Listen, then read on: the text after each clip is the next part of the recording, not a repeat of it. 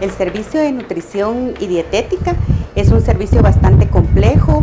Nuestra mayor responsabilidad es la de la producción y distribución de los alimentos a todos los pacientes, tanto ingresados en la unidad como también a los de consulta externa. El servicio básicamente tiene bastantes áreas, es un servicio muy complejo. Tenemos el área de recepción, y almacenamiento de todos los insumos. En esta área trabajan los ecónomos, que son los encargados de velar por el adecuado abastecimiento de todos los insumos para garantizar una producción adecuada de alimentos de calidad.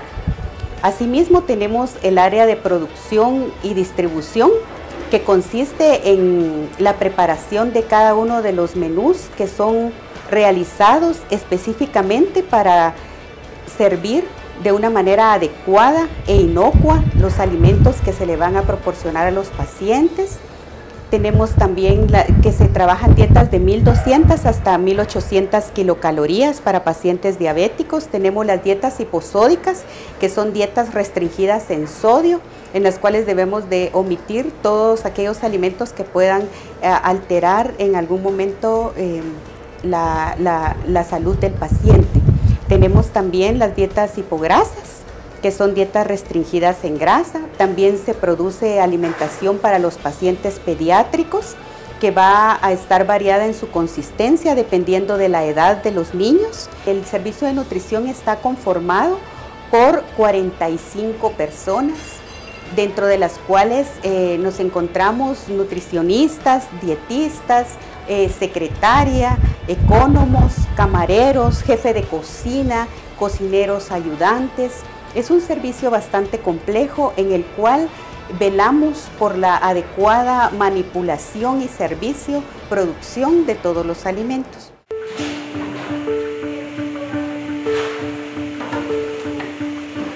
La producción aproximada es de, en el desayuno producimos 280 porciones de dieta libre, aproximadamente 80 porciones de dieta modificada. En el almuerzo sí eh, aumenta, aumenta más la producción.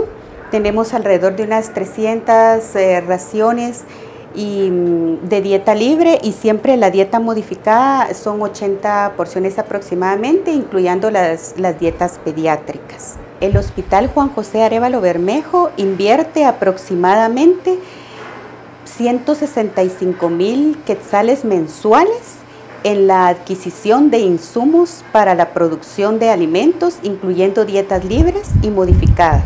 Todos los insumos que ingresan a la unidad son de calidad, se solicitan por medio de peso, se solicita que llenen ciertos estándares de calidad que son supervisados por la dietista al momento de la recepción y asimismo al momento de la producción nuevamente para evitar eh, cualquier tipo de contaminación cruzada. Tenemos áreas específicas para refrigeración, contamos con tres cuartos fríos, uno para el almacenamiento de frutas y verduras con controles de temperatura adecuados, tenemos un cuarto frío para el almacenamiento de productos lácteos y, alimentos preparados y otro cuarto congelador para todo lo que son las carnes, para garantizar que todos los productos que ingresan estén adecuadamente almacenados previo a su preparación.